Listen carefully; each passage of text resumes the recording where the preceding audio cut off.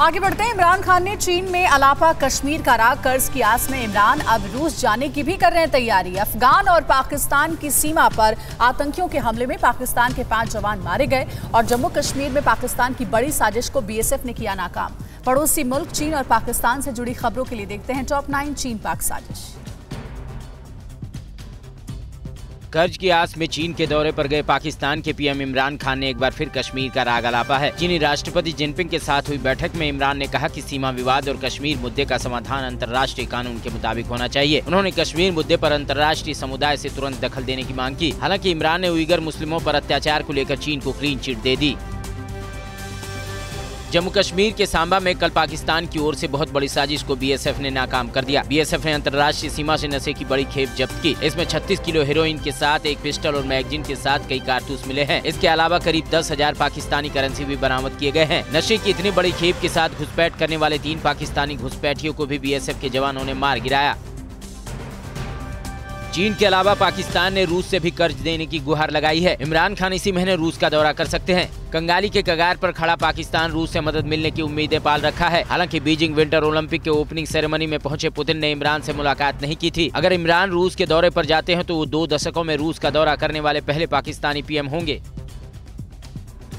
पाकिस्तान अफगान सीमा पर बाढ़ लगाने को लेकर चल रहे विवाद के बीच अफ़गानिस्तान की ओर से फायरिंग में पाकिस्तानी सेना के पाँच जवान मारे गए हैं। पाकिस्तानी सेना की ओर से जारी बयान में कहा गया है कि अफ़गानिस्तान के आतंकियों ने बिना वजह की अचानक फायरिंग शुरू कर दी। पाकिस्तान ने कहा कि उसकी जवाबी कार्रवाई में कई आतंकी भी मारे गए हैं।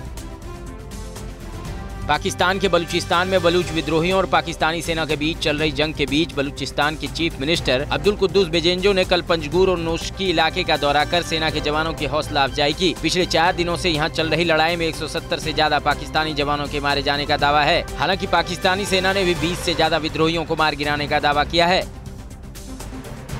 आतंकियों का रहनुमा पाकिस्तान जम्मू कश्मीर में लगातार आतंकी वारदात और नफरत फैलाने की साजिश रचता रहता है। लेकिन अब इस साजिश में पाकिस्तान की मदद चीन भी कर रहा है। अमेरिका के हर्सन इंस्टीट्यूट की रिपोर्ट के मुताबिक एसएफजी से जुड़े अलगाववादी America, Britain, Canada, Australia, France, Germany सहित तमाम देशों ऐसी भारत के खिलाफ साजिश रच रहे हैं। चीन इसमें पाकिस्तान की मदद कर भारत और अमेरिका के संबंधों को खराब करना चाहता है।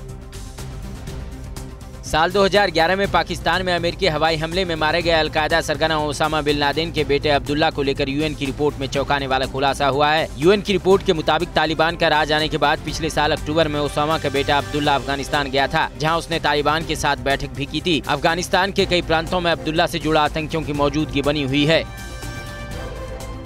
पाकिस्तान के पीएम इमरान खान ने कहा है कि चीन और अमेरिका के बीच चल रहे विवाद को सुलझाने के लिए वो अपनी भूमिका निभाने को तैयार हैं। पाकिस्तान के सूचना मंत्री फवाद चौधरी ने दावा किया है कि थिंक टैंक के साथ मुलाकात में इमरान ने इस बात पर ज़ोर दिया कि दुनिया अब दूसरा कोल्ड वार नहीं झेल सकती चीन और अमेरिका के बीच ताइवान समेत कई मुद्दों आरोप तनाव चल रहा है दुनिया में अपनी आर्थिक तरक्की की झूठी तस्वीर दिखाने वाले चीन की अब कलई खुलने वाली है। चीन की अर्थव्यवस्था पर संकट के बादल मंडराने लगे हैं। कहा जा रहा है कि चीन अब मंदी की ओर बढ़ रहा है। चीनी सरकार बड़ी कंपनियों को कर्ज का बोझ कम करने का दबाव डालने के साथ ही प्रॉपर्टी क्षेत्र में उधारी घटाने आरोप भी नकेल कस रही है। विश्व बैंक का अनुमान है की दो हज़ार बाईस में चीन की अर्थव्यवस्था की रफ्तार पिछले आठ साल की तुलना में पाँच फ़ीसदी ऐसी थोड़ी ही ज़्यादा रहेगी।